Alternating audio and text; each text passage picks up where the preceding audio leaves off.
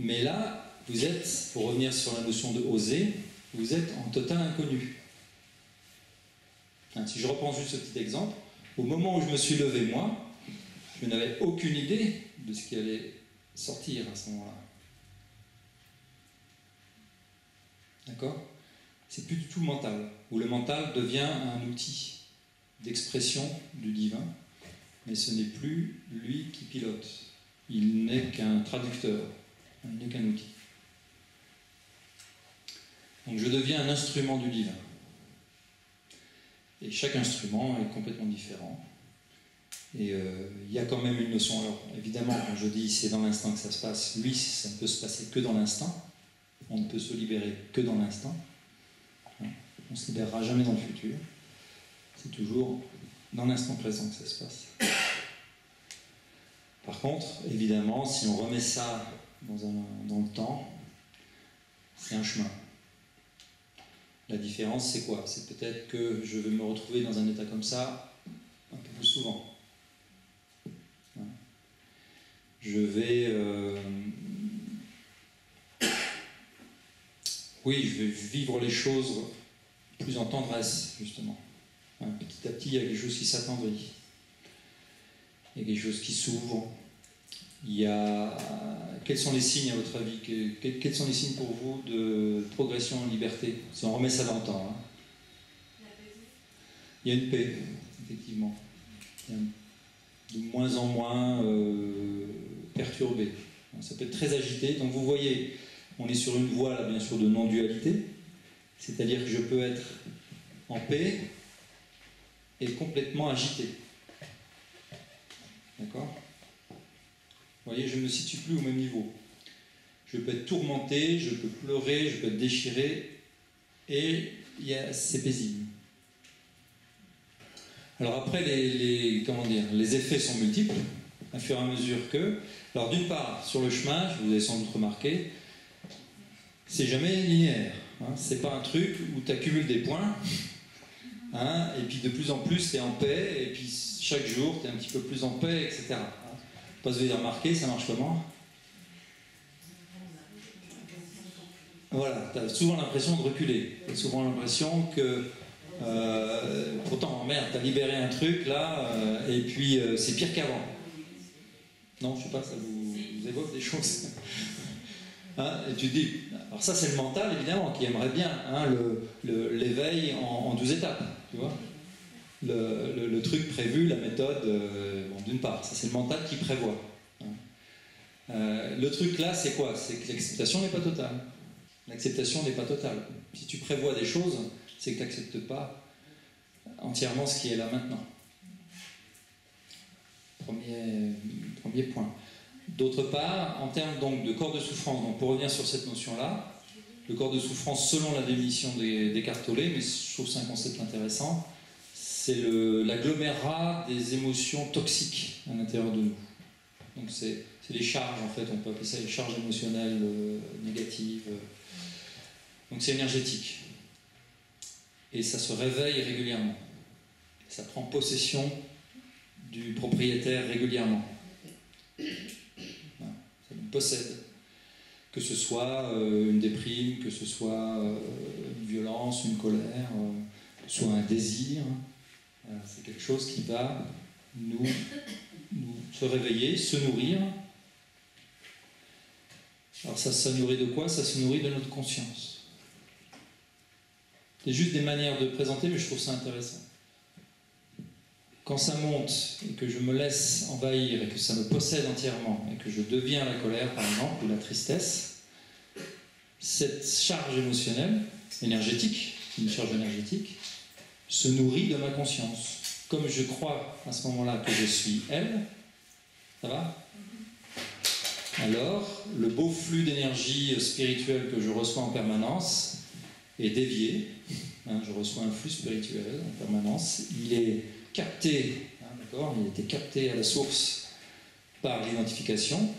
Il est branché sur le corps de souffrance et la belle vibration subtile qui descend, elle est hyper subtile et puis au fur et à mesure qu'elle rentre dans le, qu'elle nourrit le corps de souffrance, elle devient.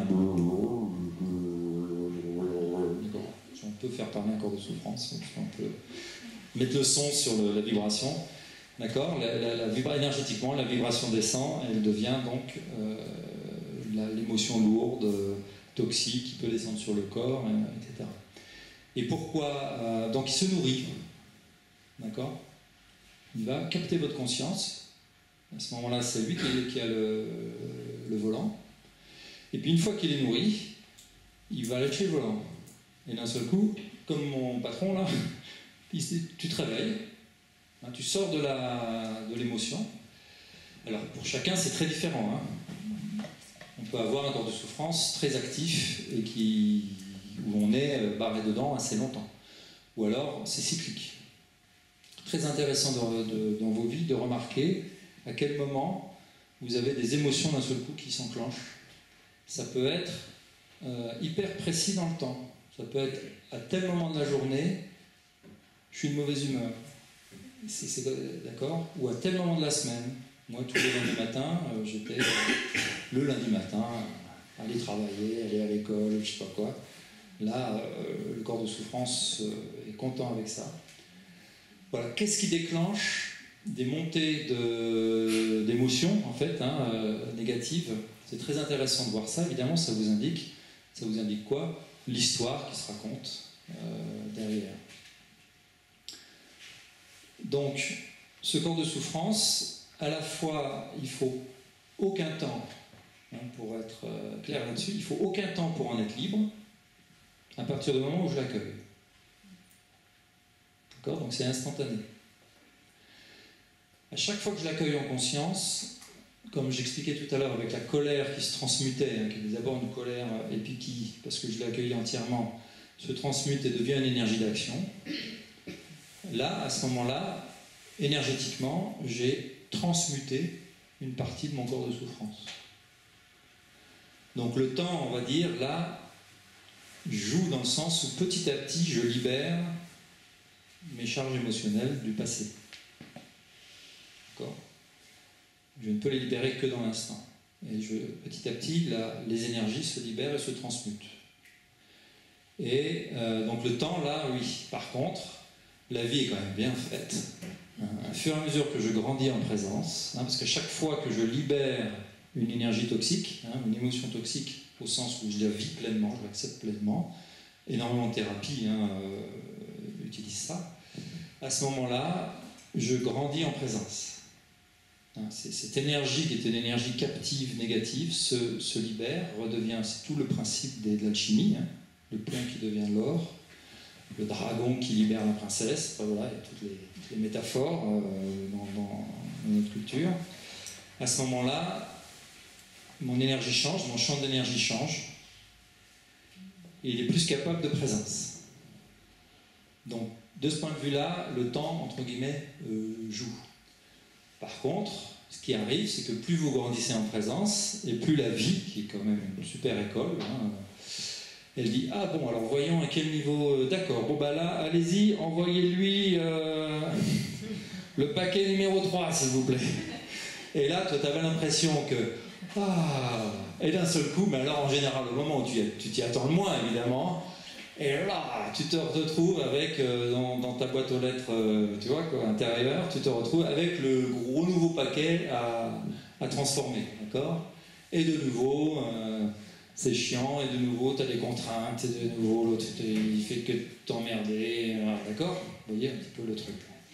C'est-à-dire que la vie s'organise, la vie s'organise autour de toi, alors là, de ce point de vue-là, c'est super bien organisé, pour t'amener la bonne personne dans le bon état en bon moment pour déclencher la, la, vieille histoire, déclencher le truc. Et donc tu vas dire, alors là l'ego arrive, je vous fais le schéma complet que, j'ai expérimenté, que j'expérimente régulièrement. L'ego arrive et dit quoi? Alors l'ego il était, hein, tu libéré un petit paquet, tout. Ah, ça va mieux. Hein. et donc si l'ego arrive, qu'est-ce qu'il dit? Bah ça c'est fait, c'est bon. Euh, ou alors, voilà, moi je suis, je suis, quand même, ça y est, j'ai compris. Ou alors, pire encore, ça y est, j'ai compris. La vie, ça y est. D'accord? Évidemment, c'est à ce moment-là que oh, la vie t'envoie donc le, programme suivant. Et, là, l'ego peut revenir, donc bien sûr en résistant, hein, en disant ben non, c'est pas possible, attends, au niveau je suis, c'est pas possible. Ou alors, et, et ouf, euh, il t'envoie des gens du truc du genre, dites-moi. Mais à l'inverse, en disant t'es nul. T'en es encore là. Ça fait 30 ans que tu médites, regarde. T'as suivi tous ces maîtres-là et, regarde ce que tu vis encore. Hein, d'accord? Ou alors, d'un seul coup, tu, travailles de ton corps de souffrance, t'étais barré, mais dans une inconscience vraiment euh, de bas étage, tu vois, quoi t'es en bagnole et tout, l'autre il te fait une petite connerie, et t'es parti dans un truc, tu vois quoi. Et là tu te réveilles et tu dis, oh, c'est pas possible. Ok, bon bah ça c'est l'ego qui revient en, te refaisant en ce moment-là une petite identité sur mesure, en te disant, bah t'as vu là, tu sais qui tu es, t'es celui qui est complètement nul, t'as rien compris. D'accord. Mais au moins, vous voyez, donc hop, tu te, l'ego te, remet dans une identité. Donc ça peut être intéressant de se dire ça, c'est que plus j'avance, plus c'est raide, bah ouais. Ça veut dire que comme les jeux vidéo, tu es arrivé au niveau suivant, et eh ben tu te tapes euh, le boss, euh, je crois que ça s'appelle comme ça, là, le, boss du niveau euh, plus élevé. voilà. Alors, de ce point de vue-là, tu pourrais dire effectivement, mais ça, c'est jamais fini, mais ça, c'est. C'est une histoire. C'est une histoire. Il y a besoin de savoir qu'un jour ça va s'arrêter quand même, tout, tout merdier. Euh, donc ça, c'est une histoire. Euh, c'est pour ça que je remène les choses dans l'instant et que quelque part, la libération, l'éveil, on pourrait dire, c'est maintenant. Alors vous pourrez me dire, ouais, mais non, là, je suis pas éveillé, tu comprends. Euh, d'accord, d'accord, d'accord. Mais tu repars dans une histoire. Après, c'est hyper pragmatique. C'est très concret en fait. On pourrait dire la spiritualité, c'est concret. l'échec, une histoire. La réussite, une histoire. Donc, il ne s'agit pas de nier tout ça, d'accord hein, Parce que là, c'est aussi un piège du, chercheur spirituel, c'est de nier la dimension euh, voilà, de la vie courante et du, c'est relatif. Et c'est normal d'avoir des désirs, d'avoir des objectifs, c'est normal de vouloir réussir, c'est normal de, vouloir faire mieux, c'est normal de. Tout ça, c'est normal, mais c'est un niveau de l'existence. Et si on reste uniquement à ce niveau-là, la vie est galère. Donc le secret serait de dire, bah oui, j'ai un pied dans la, la réalité dite relative, mais j'ai un autre pied, ou j'ai une autre partie de moi-même qui est dans la réalité dite absolue, mais là, attention, on commence à avoir des mots un peu, un peu dangereux. Euh, on, est, on est en contrainte et en liberté. C'est appréciable d'avoir euh, de, de reprendre, parce que la dernière fois que je suis venue à une conférence ici, j'étais le haut vol. Mais gros piège, hein, le haut vol, faites attention. je me suis un peu. Voilà. Parce que des fois, le haut vol cache des bas étages. Hein. Dans le sens où plus tu veux, c'est un piège. Hein. C'est le piège d'enfermer euh, le spirituel ou l'éveil ou quoi que ce soit dans une idée. Je ne dis pas que c'était le cas du conférencier précédent, je ne le connais pas. Euh, Mais euh, c'est un piège. De, J'aime bien la citation de Carl Jung, psychologue suisse, psychiatre suisse, qui reliait bien la psychologie à la spiritualité, il disait l'objectif n'est pas la perfection, c'est l'entièreté. Sa manière de dire, c'est sa manière entier, moi la manière dont je le comprends, c'est j'accueille toutes les parties de moi-même. Je me vis tel que je suis là maintenant. Et c'est parce que je ne suis là dans l'instant plus en lutte avec qui je suis que ça commence à se détendre qu'on passe nos vies, enfin en tout cas moi, je parle de moi, je passe beaucoup de mon temps à refuser qui je suis. Dans l'instant. Refuser ce que je ressens, refuser ce qui se passe, refuser ce qui m'est dit, refuser ce que je, je, refuse. Dès que je commence à me détendre avec ça et à, dire ok, c'est là, c'est ça. C'est ce que tu vis là à ce moment-là, il y a une toute autre énergie qui arrive, ça se détend, je me fatigue beaucoup moins. Euh, et comme par hasard, je commence à devenir un peu plus sympa avec les gens autour de moi, parce que si je m'accepte entièrement, il y a toutes les chances que je fasse la même chose avec les autres. Donc, paradoxalement, être libre, c'est accepter de ne pas l'être.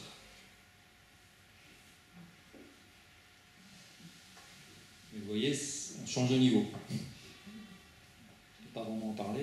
On change de niveau. Je ne lutte plus contre ce qui est. Et une fois de plus, ça me donne une grande liberté d'agir. Hein. Parce que je suis euh, déconditionné. Et je vois les solutions où euh, avant je ne les voyais pas. Ou parfois simplement le fait que je suis dans, une, dans cette paix qu'on écrivait tout à l'heure, par exemple, avec ce qui est, simplement je suis là, je suis en, paix vraiment avec ce qui se passe en moi. Et une fois de plus, ça ne veut pas dire que c'est cool. Hein. hein J'ai abandonné l'image que la vie doit être cool. Vous voyez? J'ai lâché. J'ai abandonné l'idée que euh, la vie doit être agréable, confortable. Voilà. Mais simplement, je suis là et, ok, c'est ce qui est. Et bien, énergétiquement, mon champ d'énergie est complètement différent. On pourrait dire ma présence est là et ça passe. Et très souvent, je n'aurais même rien à faire et j'aurais affecté la situation, au bon sens du terme, simplement par mon champ d'énergie. J'aurais agi sans agir. Ça agit. Et donc, Descartes va dire par exemple, dans le champ des relations, parce que évidemment les relations sont un champ rêvé pour, euh, pour vivre une contrainte, et la transcender, la dépasser, la vivre librement. Euh, dans une relation, il suffit d'une seule personne pour changer la nature de la relation. Tant que vous pensez que l'autre doit changer, tant que vous pensez que les deux doivent changer, euh, à la limite, je pousse encore, attention, hein, tant que vous pensez que vous devez changer, il n'y a rien à changer. Il y a simplement un petit déplacement de regard, et je, suis ce que je, ce suis, euh, l'autre est ce qu'il est, je vis en présence, j'accepte entièrement ça qui se passe intérieurement. Ça ne veut pas dire que je suis fermé à l'extérieur. Mais déjà là, la nature de la relation a changé. Parce qu'une relation, c'est deux personnes. S'il y en a une qui est en présence, en conscience, à ce moment-là, la relation a changé. Est-ce que l'autre va d'un seul coup se réveiller de ses schémas, se libérer euh, Je ne sais pas. Mais ce n'est pas un problème, j'en suis libre. Donc je laisse la place à l'autre d'être tel qu'il est. Et miracle, c'est parce que, mais n'attendez rien, hein, d'accord? Parce qu'après, évidemment, euh, il y, a le mental qui vient dire Attends, j'ai bien compris, bien la conférence, ça n'en bouge pas. Là, ça y est, ça y est, j'accepte. Bon, je n'ai pas dû encore accepter assez. Vous voyez, il y a un plan. Et il va toujours revenir, de toute façon, ne vous inquiétez pas. Au bout d'un moment, vous rigolez et c'est bon. Mais euh, donc voilà, euh, et le miracle où il est, c'est que c'est parce que je laisse à l'autre tout l'espace d'être que je lui donne toutes les chances d'évoluer. Parce que tant que je, projette sur l'autre une image de ce qui devrait être, d'accord Si j'accepte pas comme il est, si je projette sur l'autre une image, je, suis en train de dire, attends, bouge pas, tu devrais pas être comme ça, tu devrais être comme ça, comme ça, comme ça, et bouge pas, alors bien sûr, tu peux sortir ton, ton truc, alors, alors, bon, ça, il faut couper, ça, ça tu le gardes, il faudrait quand même le repeindre, et puis, enfin voilà quoi. On a tous euh, notre cahier des charges sur les autres, et d'ailleurs, comme on, dit, c'est un cahier des charges. Des charges dessus, parce que tu décharges sur l'autre tous tes, tous tes trucs, donc c'est un cahier des charges. Et puis, c'est aussi un cahier des charges, c'est-à-dire que tu le charges de toutes tes projections, de tout ce que tu attends et tout ça. Et plus, évidemment, mettez-vous vous de l'autre côté, on veut que vous changiez, on veut que tu sois différent, etc. Bah, plus tu sens ça de manière souvent inconsciente, hein, bien sûr, et plus en toi, qu'est-ce que ça fait? Alors là, tiens, changer, C'est normal, quelque part. Hein on te demande de rentrer dans, dans, des cases. Toi, tu veux être libre. Eh bien, cette liberté, offre-la à l'autre. Une fois de plus, ça ne veut pas dire que tu te soumets, que tu te laisses faire, que. D'accord hein? Il y a des petites étoiles en bas du, contrat. Hein petites lignes. Ça veut dire que, ok, elle est comme ça, il est comme ça. Et surtout, le fait qu'il soit comme ça ou comme ça génère en moi des pensées, des jugements, des émotions, de, la peur, eh ben ok, ben j'accepte, je vis, je transforme, voilà, je fais mon chemin. Et au bout d'un moment, plus tu libères l'autre, et plus tu lui donnes de la chance, des chances de se libérer.